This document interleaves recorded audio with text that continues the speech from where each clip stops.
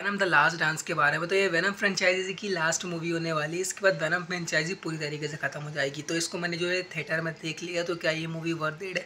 जी हाँ movie worth है, लेकिन कुछ पोर्शन में मूवी का वीएफएक्स काफ़ी बढ़िया है। जिस तरीके से एक्शन सीन शूट किए गए, मुझे काफ़ी इंप्रेसिव लगा। मूवी के अंदर सबसे अच्छा मेन शॉट मुझे वही लगा जब यहाँ पे वैनम जो है, यहाँ पे बाइक से जो है यहाँ पे भागता है और उसके पीछे जब मोस्टर रहते हैं और पीछे से गन मशीन चल रही रहती है।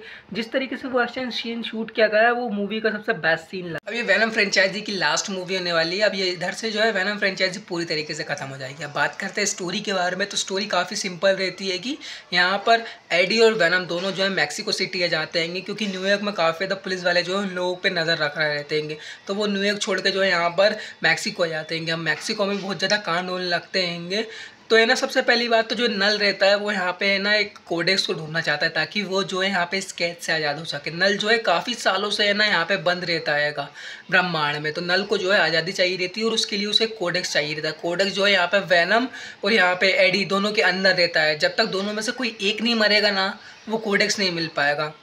वैनम जिस तरीके से, पूरी तरीके से एक्टिवेट हो जाता है हार्ड मतलब एडी के अंदर तो है ना यहाँ पे कोडेक्स की जो चिप रहती है, वो है ना यहाँ के वैनम के अंदर देखने लगती है कि, और वो मोन्स्टर है ना यहाँ पे वो चिप का पता लगा लेते हैं, कहीं भी हो एडी और वैनम दोनों का पता लगा लेते हैं। इसके लिए सिर्फ़ एक ही रास्ता रहता है, उन दोनों में से किसी एक को मरना रहता है जिस तरीके से वैनम पूरी तरीके से एक्टिवेट हो जाएगा तो वो कोडेक्स की जो चिप रहती है, जिस तरीके से हमारा मोबाइल घूम जाता है और हमें कोई उस मोबाइल को पता लगाने के लिए ट्रैकिंग चिप की ज़रूरत रहती है, उसी तरीके से ट्रैकिंग चिप है ना यहाँ पे वैनम के अंदर रहती है। वैनम पूरी तरीके से एक्टिवेट हो जाएगा तो वो चिप का पता चल जाएगा और वैनम की लोकेशन आराम से पता चल जाएगी। तो वो मोन्स्टर एक झटके में वहीं पहुँच जाता है। अब एक सीन रहता है यहाँ पे। नल जो है यहाँ पे अपने मोन्स्टरों को भेजता है अब क्या रहता है एडी जो है यहाँ पे फ़्लाइट से ऊपरी वाले हिस्से पे लटक के जो है न्यूयॉर्क जा रहा रहता है अब जिस तरीके से वैनम पूरी तरीके से एक्टिवेट होता है तो है ना यहाँ पे वो मॉन्स्टर आ जाते हैं। क्योंकि है ना वैनम एक्टिवेट होगा तो वैनम के अंदर जो है वो कोडेक्स लगा रहता है जैसे ही वो एक्टिवेट हो जाता है तो यहाँ पे वो मोस्टर आता है और उन दोनों के बीच काफ़ी ज़्यादा फाइट होने लगती है। तो फिर क्या है वेनम जो है पूरी तरीके से एडी के शरीर के अंदर घुस जाता है और एडी को जो है वो नीचे फेंक देता है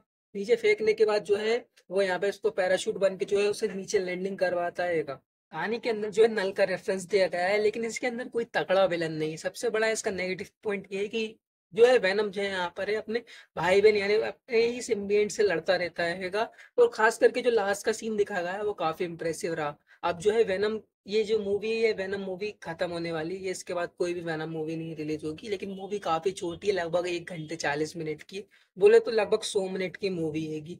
मूवी काफ़ी छोटी है, लेकिन स्टोरी जिस तरीके से यहाँ पे प्रिडिक्ट की गई और यहाँ पे खत्म की गई है, वो मुझे एक तरीके से अच्छी नहीं लगी एज अ मेरा माई ओपिनियन है लेकिन देखा जाए तो मूवी बेस्ट है एक्शन के मामले में। अगर वैनो फ्रेंचाइजी आप देखना चाहते हो तो मूवी अच्छी है। तीनों मूवी के हिसाब से तो सबसे बेस्ट मुझे थर्ड पार्ट लगा और लास्ट का जो सीन था ना, वो काफ़ी इंप्रेसिव जिस तरीके से यहाँ पे वैनम का अटैचमेंट दिखाया गया है, यहाँ पे एडी के साथ एडी का अटैचमेंट वैनम के साथ दिखा गया है, काफ़ी इंप्रेसिव लोग टॉम हार्डी वैनम के रोल में काफ़ी परफेक्ट नज़र आते हैं जिस तरीके से उन्होंने यहाँ पे इस रोल को प्रेजेंट किया है, वो काफ़ी इम्प्रेसिव लगता है मुझे। अब देखते हैं कि नल को जो है यहाँ पे वो चाबी मिल पाएगी कि नहीं मिल पाएगी, क्योंकि वैनम जो है यहाँ पे नल के लिए अपने आप को कुर्बान कर देता है, वो जो चाबी रहती है, वो देता नहीं है और वैनम जो अपने आप को मार देता है और ना, यहाँ पे एडी जो है, यहाँ पे अकेले ही रह जाता है अब इसके अंदर जो पोस्ट क्रेडिट सीन है, वो यहाँ पे इतने इम्प्रेसिव नहीं है, जो आपको लगे कि हाँ यार बाबा ये वर्थ है। तो जो पोस्ट क्रेडिट सीन है, वो होना ना होना एक ही बात है। लेकिन मूवी काफ़ी इंप्रेसिव है। अगर एक्शन के मामले में आप वी के मामले में जा रहे होगे तो आपको ये मूवी जो है, निराश नहीं करेगी। खैर अच्छा लगा रही तो वीडियो को लाइक करें चैनल को ज़रूर सब्सक्राइब करें और प्लीज़ वो लाल लाल बटन को प्लीज़ दबा के जाए।